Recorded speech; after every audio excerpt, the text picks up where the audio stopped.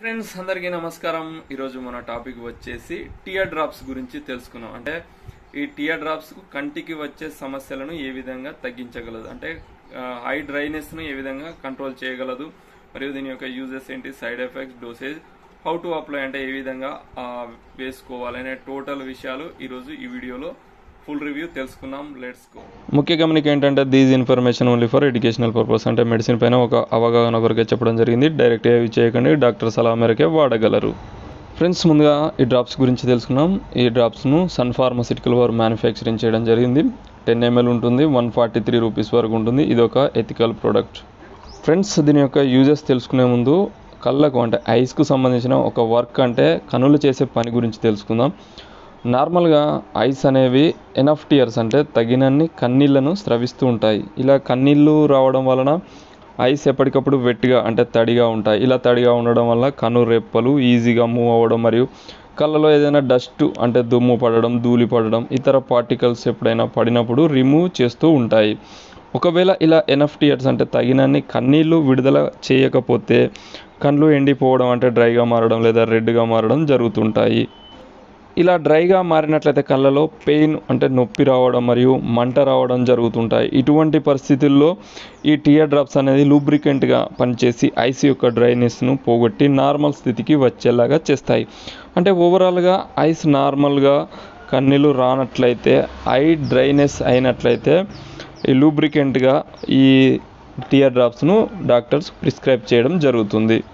ఒక ఫ్రెండ్స్ ఒక ఐడియా వచ్చింది అనుకుంటున్నాను. అసలు ఇలా డ్రైనెస్గా కావడానికి ఐస్ డ్రైనెస్ కావడానికి కారణాలు ఏంటో ఇప్పుడు తెలుసుకున్నాం ఎక్కువగా సన్ అంటే సూర్యుడి యొక్క వేడి ఐస్ పైన అంటే కళ్ళ పైన ఈ ఎండ అనేది డైరెక్ట్గా పడినట్లయితే ఈ ప్రాబ్లమ్స్ అనేటివి రావడం జరుగుతాయి. నెక్స్ట్ హీట్ ప్రదేశాలలో అంటే వేడి ఎక్కువగా ఉండే ప్రదేశాలలో పని చేసినట్లయితే మరియు కంప్యూటర్స్ మొబైల్స్ ఎక్కువగా యూజ్ చేయడం వల్ల ఈ ఐ డ్రైనెస్ వంటి ప్రాబ్లమ్స్ రావచ్చు. ఇటువంటి పరిస్థితుల్లో కూడా ఈ టియర్ డ్రాప్స్ అనేవి చాలా బాగా ఉపయోగపడతాయి. ఓకే ఫ్రెండ్స్ దీని యొక్క సైడ్ ఎఫెక్ట్స్ తెలుసుకుందాం. దీనికి ఎక్కువగా సైడ్ ఎఫెక్ట్స్ రాకపోవచ్చు. కానీ కొన్ని సందర్భాల్లో టైం టు టైం తీసుకోకపోవడం మరియు కొందరి శరీర తత్వానికి సూటబుల్ కానట్లయితే కొన్ని side effects like eye irritation eye burning అంటే మంట రావడం ఐ డిస్కంఫర్టబుల్ కంఫర్ట్ కోల్పోవడం ఇచ్చింగ్ రావడం వంటి కొన్ని లక్షణాలు కనిపిస్తాయి. ఇటువంటి లక్షణాలు కనిపించినట్లయితే ఈ టియర్ డ్రాప్స్ను యూజ్ చేయడం మానివేసి దగ్గరలోని ఆప్తమాలజిస్ట్ను సంప్రదించగలరు.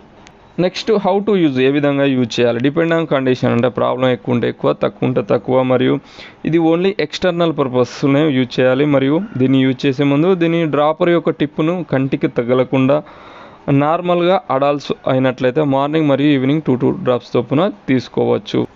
ముఖ్య విషయం ఏంటంటే సాఫ్ట్ కాంటాక్ట్ లెన్స్ యూజ్ చేసే వాళ్ళు ఆ లెన్స్ను రిమూవ్ చేసి యూజ్ చేస్తే బెటర్ రిజల్ట్ కనబడుతుంది.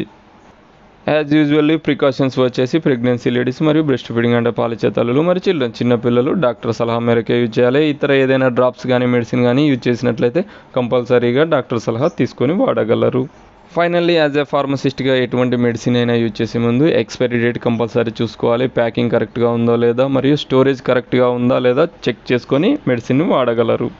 ఓకే మై ఫైనల్ రిక్వెస్ట్ ఏంటంటే మీకు ఈ వీడియో ఇన్ఫర్మేషన్ నచ్చినట్లయితే లైక్ చేయండి షేర్ చేయండి మన ఛానల్ను సబ్స్క్రైబ్ చేసుకోండి. This is Thiru the pharmacist shining of